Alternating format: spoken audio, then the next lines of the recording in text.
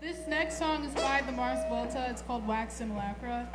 It is very difficult to play, but we're gonna play it for you. This one's a fun one. It's fun.